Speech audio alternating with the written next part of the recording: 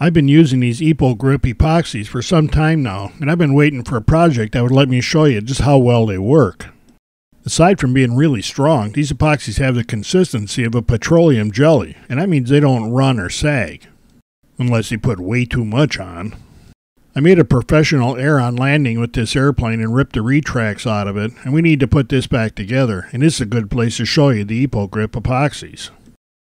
The folks at EpoGrip tell us to mix this epoxy by folding it over on itself and just kind of gushing it together.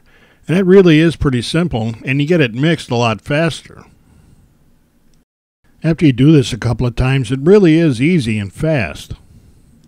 And you can color this stuff using chalk dust that you just scrape off of a stick of chalk. You can tell that it's all mixed when you get a consistent color like this.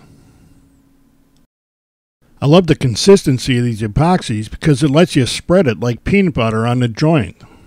EpoGrip sent me this artist palette knife, and believe me, you want to get one because it works great for spreading this epoxy. Because this stuff doesn't run or anything, we can be fairly generous with how much we put on to be sure we get good coverage, but you still can't get carried away. And I'll spread a coat on all the contact areas of the piece that we're putting back in here.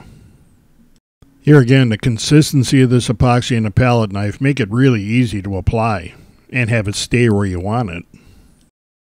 After I spread epoxy on all of the contact areas, I can put the piece back in place.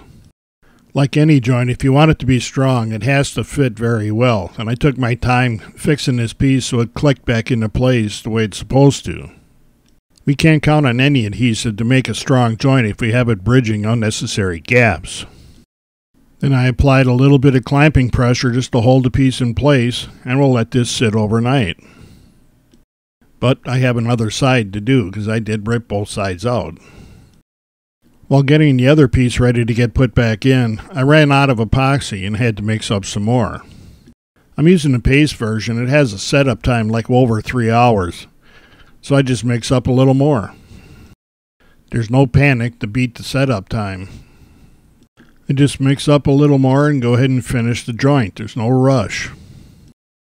Then I can install the other piece and not be worried about losing any glue strength.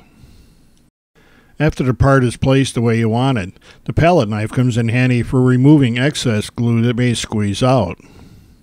But with a high stress application like this, I'm going to use that extra glue for something.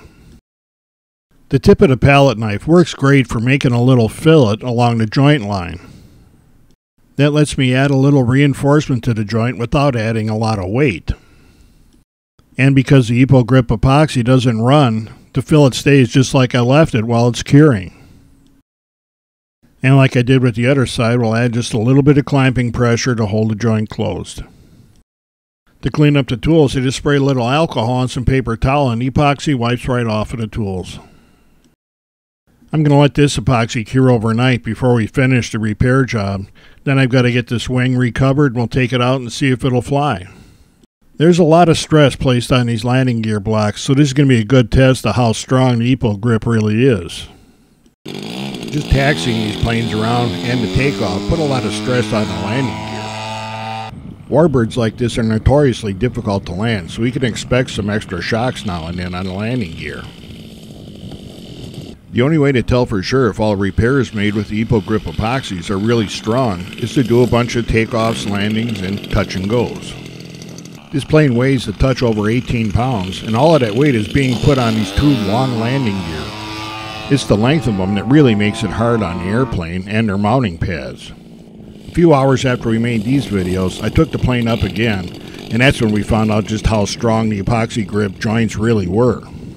While we didn't get this incident on video, I think when you see the pictures of the damage, you'll realize that this was far from an easy landing. It actually took a full-on crash to break the gear out again, but that's where we saw just how good these joints are with EpoGrip epoxies. All of the joints made with the EpoGrip epoxies are intact. Everything broke around those repairs. The repairs themselves held up fine.